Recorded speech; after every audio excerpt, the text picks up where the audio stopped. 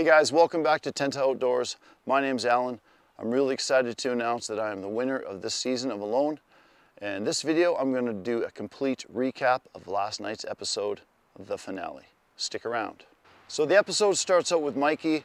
They show him in his shelter and he's eating snow and he's helping himself get through it by pretending it's delicious vanilla ice cream.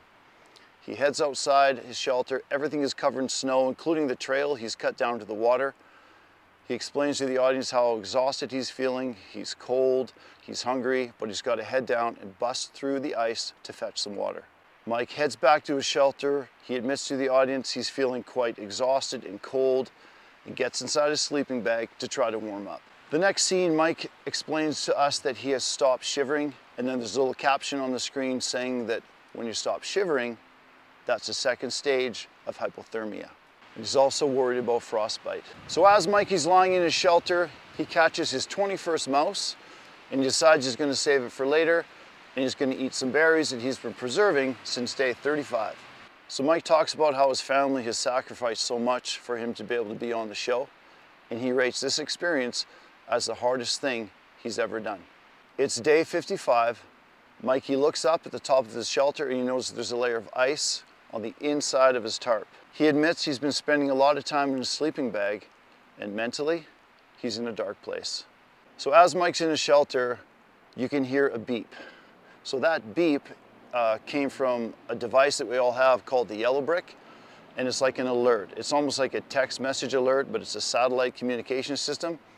So when you hear that beep, that's letting us know that there's a message, and the message said that the MedCheck team was coming for a checkup. So after the alert Mikey received on the communication device that the med check's coming, he's got to get up, get dressed, be ready for the, uh, for the checkup when the med team arrives. But he admits he's got so little strength, he's having a hard time putting on his boots. And when the med team arrives, they ask him how he's doing. He reveals how cold he is, and he's having a heck of a time keeping warm. So they give Mike a checkup. They're looking at his feet and toes, and they leave the area where Mike is and they are discussing whether or not Mike should stay in the game or not. So before the team has a chance to talk to Mikey about their findings and the decision they had made uh, about his injuries, Mikey became quite emotional. He apologized to his family and in his head he knew that he was at his end. Mikey made the decision to remove himself from the game. He was worried about permanent damage and he did not want to return to his son broken. He's done everything he can to remain in this game. He's pushed his body to the absolute limit, but he just cannot warm up. I gotta say, Mikey put up a hell of a battle out there. Very impressive journey he did. Uh, he survived on so much mental toughness and drew the strength of his son and his family to continue on to as far as his body could possibly push super impressed with Mikey and his ability to push hard through all those tough times he had. There are now two players remaining in the game, myself, Alan, and Wyatt. It's day 53. Next up on the episode was my very skilled, humble, and wise Canadian friend, Wyatt. I can't tell you how impressed I am with his journey thus far in the show. So the first scene is Wyatt showing off his fillets on his hillbilly smoker and he explains uh, he can get, I think it was three days out of each fillet. And he's excited to ice fish as soon as the lake freezes over. So Wyatt quickly gets to work processing firewood in that winter snowy wonderland. And he talks about the skeletons he has in his closet, including his 30 years of drinking.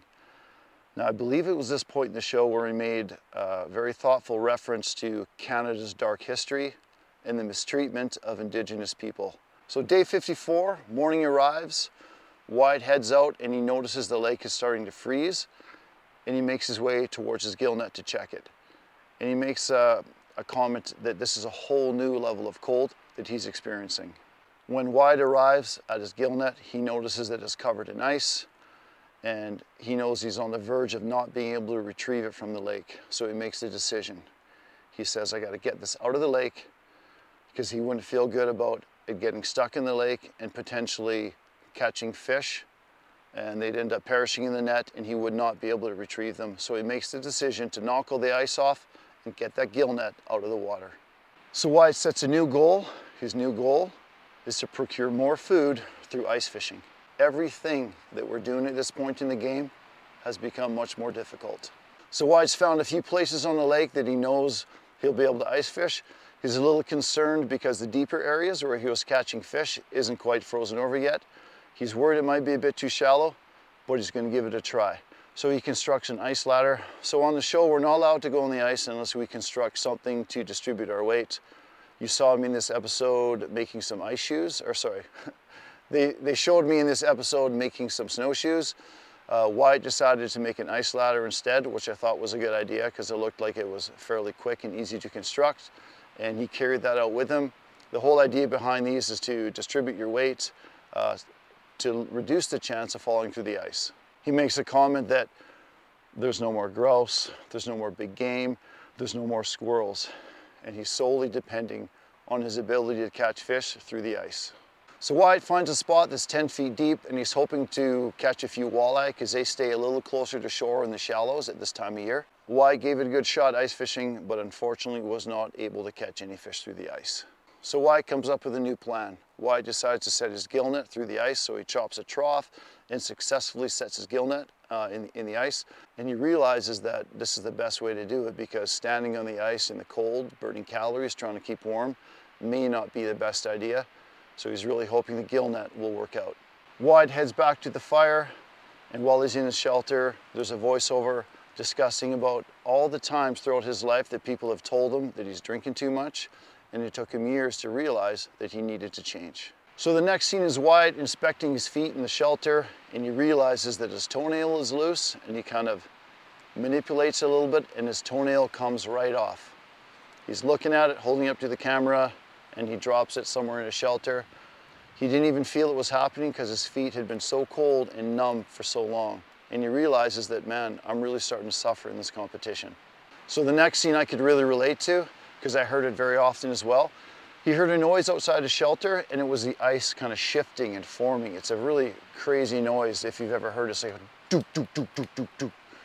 And uh, yeah, so when the ice was forming, I, I remember laying in my shelter listening to this crazy noise. It's kind of an eerie sound. After Wyatt hears that noise and he's sitting in his shelter, a section of his shelter wall caught on fire close to his fireplace. Luckily, he was quickly able to extinguish the flames. He makes reference to, man, he's super thankful that he was awake when that fire started. The next scene shows Wyatt discussing how slow time is going by now. There's just so much less to do. I mean, you're cutting wood, you're checking your gill net, and you're spending a lot more time in your shelter. And I can really relate to that. Um, yeah, days definitely went by much slower this time because there's far less to do. You're basically trying to stay warm. Food procurement is very difficult now. You've basically just got ice fishing. Uh, the small game is gone, the big game is gone and it's just, uh, it's much harder to stay positive and the days are going by much more slowly. Day 62. The wind is raging, it's super cold. He decides it's too cold to go and check his gill net. He had a bucket of water in his cooking pot, just several feet from his fire, and it was frozen solid. He revealed to the audience that the cold may be winning. Day 63. Wyatt leaves his shelter he goes to check his gill net and he realized with this wind, the ice is broken up and completely destroyed the gill net. Wyatt decides it's too dangerous to fill his water pail at the lake due to the ice and the waves, and you don't want to risk falling in at this stage in the game and the current temperature outside. So he's got one lake trout left and he realizes he has to cut an entire tree a day just to keep warm. Back in his shelter, he explains the wind is blowing way too hard for him to be able to do what he needs to get done. The next scene is Wyatt in his shelter at night and he shares with the audience that his body is beginning to fail and his mind is wandering. He puts a fish on the fire to cook and he makes note of how this experience is really taking a toll on his mental and physical well-being. At this point, Wyatt is thinking of tapping out, but he's not gonna tap out. He's gonna wait until morning and kind of reassess and he makes a comment how thankful he is that this experience has helped him get rid of so many demons. Day 64, morning arrives. Wyatt looks around his, his area, his land, and he's super thankful and enjoys the beautiful moment. Wyatt shares with the audience that he's accomplished what he wants to accomplish in this experience. He's got a beautiful family, a beautiful home, and a great life to return to. And he says, that's all I really need. Wyatt shares with the audience that he's done so much healing over the last 64 days, and I love this quote. He says, I feel whole, I feel complete. And he basically acknowledges that his body has told him that it's time to wrap things up. Wyatt makes the decision to remove himself from the game. The team arrives, and he talks about how this experience has been completely epic, life-changing, and he's leaving here a different person. He talked about how his time at Reindeer Lake has been his therapy. So next up was me on day 53, and basically a lot of what I did this episode was instead of procuring food, was preparing firewood to stay warm in my shelter in the evenings. I mean, there wasn't a whole lot to do once winter hit really hard and the lake began to freeze, besides getting firewood and ice fishing. I talked about how I miss my wife and how we'd been together for 25 years and been through so much together. And man, when you're sitting in your shelter for all that time each day, and I wasn't sleeping well at this point in the game either, uh, yeah, you start, you start missing the people you love and, and you start realizing how important your family is to you and, and that uh, it's really important to tell them what they mean to you. So I talked about how I used a motto that helped me grind through the tough times. Whenever I felt weak or felt like going home or felt so uncomfortable, I just say to myself, no, Al, this is short term. This is going to be over soon. Keep grinding. Because at this stage in the game, it was much more difficult and you really had to, you really had to push through those times. So I just say, keep grinding, keep grinding. So on day 55, I knew that soon I would be ice fishing. So I started to prepare uh, my snowshoes because we weren't allowed to go on the ice unless we built snowshoes or a ladder similar to Wyatt's. I decided just to build a quick, simple pair of snowshoes. They showed me processing some firewood. I always made sure I had enough firewood for about two or three days just in case the weather was really bad or whatever. I wanted to make sure I had enough wood to get me through at least three nights, always stored in my shelter. So my focus really shifted from getting as much food as I could to getting as much firewood as I could to stay warm because I had enough fish smoked and stored to get me to close to day 70. I knew that as each day went by, my body was getting a little bit weaker and my mind was getting a little bit darker. And I wanted just to keep pushing to see how far I could go. Day 57, you know, I'm definitely feeling a little bit worse every day. I'm, uh, I'm still eating half a lake trout a day, so that kept my strength up okay. At that point in the game, I remember when I bent over and I stood up quickly, I definitely had head rushes. And whatever I did, I just had to do much more slowly because my energy levels were, were quite low. Uh, I remember cutting firewood and I was only able to cut two or three pieces of wood at a time. The next scene showed me ice fishing with my snowshoes on, cutting a, a square in the lake and unsuccessfully ice fishing. I never did catch a fish through the ice. Um, I was pretty sure I wouldn't catch a fish in that spot because my actual fishing spot in front of the rock, the ice wasn't thick enough there yet. But um, I thought, well, like Wyatt, it wasn't that deep, maybe 10, 12 feet deep, and I hadn't seen a lot of fish activity in that area, but I decided to give it a try anyways, um, just in case there was a pike or a pickerel there, but I was unsuccessful. So at this point in the episode, the days were just going really quickly. We moved from like day, day 59 to 64 to, I think, right to the end. Uh, because there wasn't a lot happening, like I said earlier. We are basically cutting firewood, staying warm in our shelters, eating fish, trying a little bit of ice fishing, but really you're just kind of, you're spending a lot of time inside your shelter, so there's not a lot of filming and a lot, not a lot of exciting things that the editors can, can put on. So, and it's like that in every season, but uh, yeah, there wasn't a lot happening, so the days moved quite quickly. So one of the scenes in this episode, they show me banging. Hey, get out of there. I had a stick and I was banging it on the side. I did hear a noise outside. I'm pretty sure it was a marten scurrying around, trying to probably smelled fish inside my shelter and he was climbing around on my shelter. I was positive it wasn't a bear because they'd be hibernating by this point. So I was almost positive it was a marten, So I just banged the side of my shelter to scare it away because I didn't want him trying to get in my shelter and then I have to deal with him. I also did another skinny check because I knew at this point med check would, would be any day. So I stripped off my shirt and I looked at myself again and I could see that I had lost a little bit more weight since my last skinny check. So I put my clothes on and, and I, I, I ate a piece of fish and I knew that med check day was coming very soon. So it's day 66 and it's med check day. Was I nervous about being pulled because of my weight? A little. I, I was probably 50-50 because I still felt pretty good and I still had some muscle mass left on my body. So I was worried, but not super worried. Um, so they came, they, they did my check, and they, during the interview, they were asking me, you know, how I was feeling, and I was honest. I knew that I was, I was getting close to the end. My body was starting to break down. My mental game was getting chipped away for sure, but that day I wasn't considering tapping. I kind of had a plan in my head. I had food till about day 70, and I knew that around day 70 was probably going to be my limit. But um, I was hopeful that my good fishing spot would be safe to ice fish from right about that time. So I wasn't giving up hope. And I knew that, man, every second, every minute I pushed forward, one of my competitors could have tapped out. I didn't know how many were left, but I knew that I knew how hard the conditions were, and I was pretty sure no one had got too much food since about day 50. So I, I knew I was close, and uh, I just wanted to keep pushing every minute, every hour, every day brought, brought me a little bit closer. I, I talked about how I was missing my kids, I was missing the comforts of home. Um, and then I made a comment about, man, I really miss Doritos. And I said, if you guys have Doritos right now, your lives are in danger.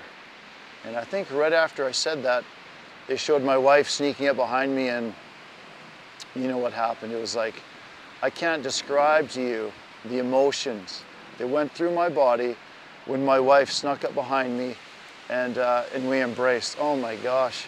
It was, it was one of the most uh, happiest times in my entire life. But it was, uh, it was a super special moment and the, the elation knowing that it was over and I could spend time with my wife and my children.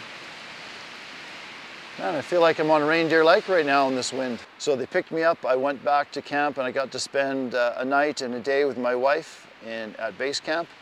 And I started the refeeding process. And I think that went on for about seven or eight days. It was cool because I was able to sit in the shelter with my wife, show her the things I'd built. Uh, I walked around my site with her. I showed her my day use area, my smoker, where I fished on my fishing rock. It was a really special experience to be able to share that with my wife and it's something that we'll always really cherish. Uh, yeah, Whew. getting emotional here. I talked about how I'll never really get over losing my dad, but I owe this experience to my dad because he was the one that got me into archery. He was the one that got me into fishing. He's the guy that introduced me to the outdoors. And uh, yeah, just super thankful for my dad. So if you have any questions, leave one in the comments or go to the Reddit thread and leave your question there. Thanks for sticking around to the end of the video, you guys. I've really enjoyed these recaps. Thank you for all the comments and support I've received. It's been incredible. And uh, we'll see you next time. That was a tree that just fell over, a massive tree right there.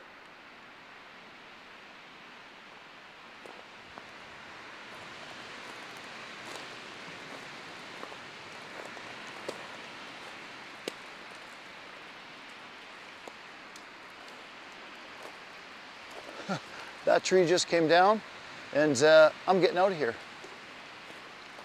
This is Tenta Outdoors. We'll see you next time.